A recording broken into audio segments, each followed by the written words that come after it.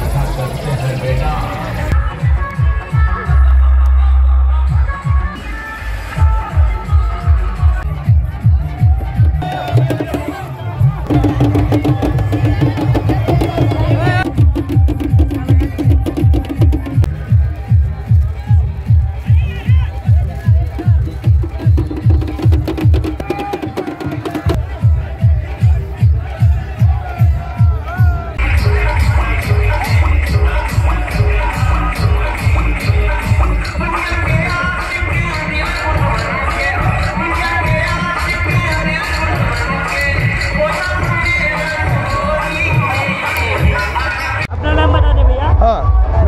कृपाचार्य गलगली है।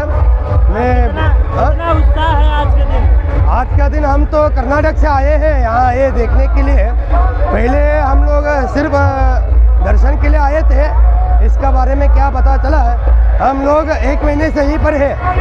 देख एक देखने के लिए उत्साह देखने के लिए बाबा के दर्शन के लिए। आज हमको बहुत खुशी हो रहा है। ये सब देखकर हम इतना मन से हर्षित हो गए हैं कि हम लोग भी उनका अंदर सम्मेलन हो गए उनके साथ। बहुत मन से खुशी हो रहा है। अपना नाम बता दीजिए। डोमराया महानी चौधरी आ, कितने वर्षों की परंपरा है और आज उत्सव आप लोग मना रहे हैं? ये परंपरा हम लोग ये हम लोग कानून लोग के मसलन है। ये तो सदियों से चला आ जा रहा है। ये तो जब राजा हरिचंद्र को हमारे पूर्वज कानून ने करी है तब से ये परंपरा चला आ रहा है। कहाँ से कहाँ तक झांकी निकाले आप? ये किलाराम से स्टार्ट होता है भेलूपुरा होते हुए केतमणि होते हुए भेलूपुरा होते हुए सोनापुरा होते हुए हरिचंद घाट पे समाप्त होता है।